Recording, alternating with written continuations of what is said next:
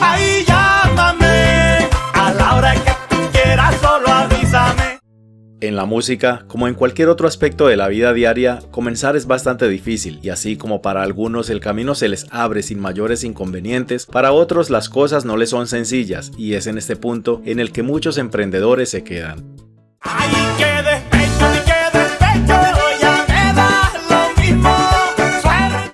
Para el cantautor Diego Daza, quien además es ingeniero industrial graduado en la Universidad de Pamplona en el departamento de Santander, el comienzo en la música no fue para nada fácil. Hoy conoceremos un poco de ella.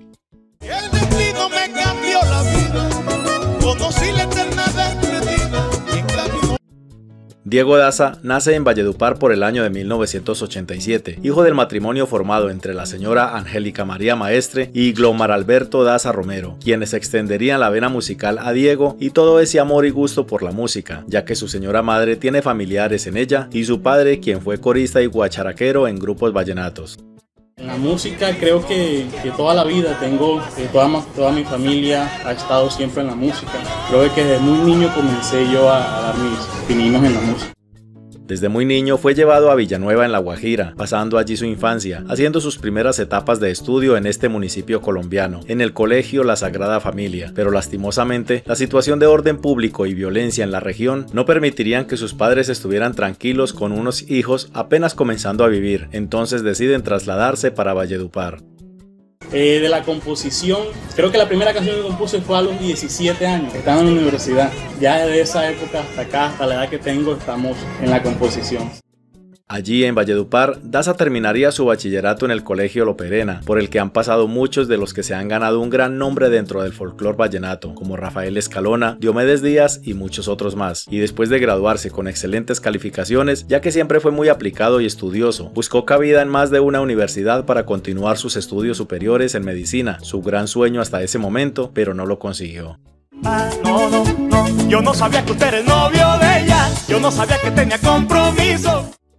Un poco decepcionado de la situación y tras mucho pensar y reflexionar, Diego decide inscribirse en Ingeniería Industrial en la Universidad de Pamplona, donde gracias a su tenacidad y dedicación termina su carrera y se gradúa, para luego y durante casi dos años darse cuenta que el título no le ayudó mucho, pues a pesar de cientos de hojas de vida que enviara, de ninguna parte lo llamaron, siendo solo un amigo quien le tendió la mano en ese aspecto. arriba el.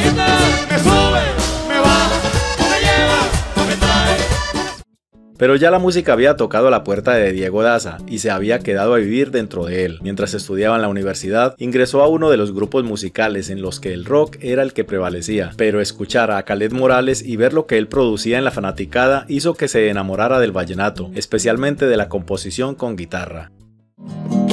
Ay, esto no se debe terminar. No creas que es fácil aguantar tanto silencio. No creas que es fácil olvidar lo que yo siento.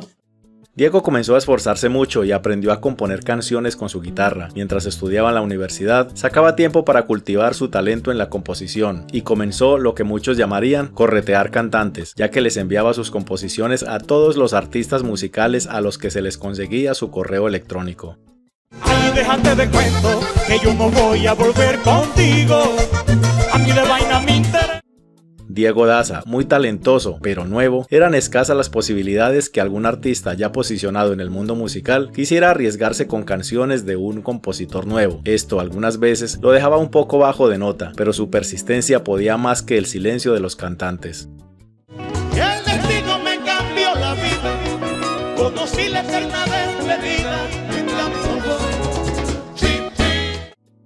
Su desesperación era máxima al ver que ninguna de las hojas de vida que enviaba obtenía respuesta, al igual que ninguna de sus obras musicales era aceptada por los artistas a los que se las enviaba. Tuvo que hacer acopio de toda su perseverancia para no darse por vencido. Vivido enamorado. Pero lo peor, musicalmente hablando, no sería eso. El peor de los casos era ver, en algunas ocasiones, discos compactos en los que grababa las composiciones y que llevaba para darse a conocer, verlos tirados por el suelo, en la basura o simplemente ignorados. No es tan fácil olvidar que me olvidaste, mucho menos entender que no me entiendas.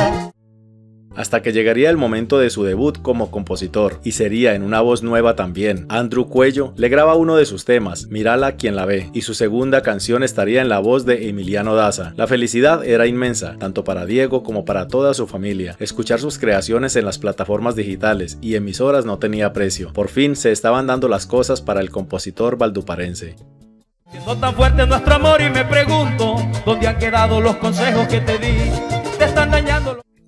Diego Daza entonces toma una decisión radical y trascendental para su vida musical. Le apostaría todo a la música y renuncia al trabajo que tenía para dedicarse de lleno a su parte de composición. No se equivocaría, ya que pronto tendría el espaldarazo que necesitaba, pues el ya desaparecido Martín Elías, hijo de Diomedes Díaz, en su canción Al fin llegaste tú, uno de sus temas que le grabara, menciona su nombre en un saludo, dándole el crédito de la canción, y es a partir de ese momento que su carrera artística musical se parte prácticamente en de Diego Daza, esto que dice.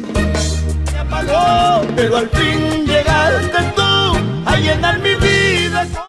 Las estrategias para dar a conocer su talento y sus canciones iban desde grabaciones en discos compactos o CDs hasta ir de ciudad en ciudad, de pueblo en pueblo, en las parrandas con su guitarra, haciendo sus presentaciones y comenzando a lucrarse un poco de ellas, satisfacción que llenaba a todos.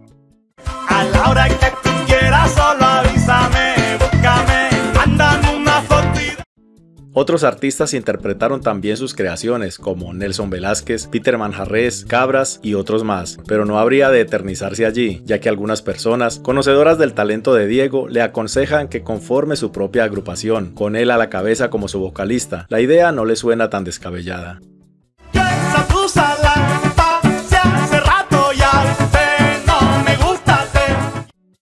Su manager comienza entonces la búsqueda de quienes integrarían tal agrupación, comenzando por el acordeonero, y vuelve y juega, ya que aquellos que estaban bien posicionados consideraban de mucho riesgo jugársela con un artista nuevo con mi primer álbum, el primer álbum que lanzamos al lado de Carlos Rueda, que se llama Esto que dice, eh, tuvimos la primera nominación a los Latin Grammy. Con ese mismo álbum hicimos una versión en vivo. Y resulta que esa regrabación, esa versión en vivo, también le hicimos un lanzamiento en todas las plataformas digitales. Y con eso recibimos una gran sorpresa de los Latin Grammy que nos nominaron por segunda vez. Diego Daza, su gran amor y preocupación por su familia, por sus padres, le han hecho que a su vida musical aparezcan ángeles en el momento que deben llegar. Carlos Rueda, acordeonero nacido en Fundación Magdalena y quien ya llevaba una muy buena trayectoria iniciada con el Derdayán Díaz y Ciro Quiñones, decidió jugársela con Daza. Se dejó, se dejó enamorar, ella sabroso que me. Grabaron su primer trabajo discográfico, un disco titulado Esto que dice, con mucha fe, pero pocas expectativas de salir triunfantes con él. Pero todo fue lo contrario, ya que prácticamente casi todas las canciones pegarían en el público, generando todo un fenómeno musical alrededor de esta joven pareja vallenata. Hay veces tú, desde que te apareciste tú, solo tengo.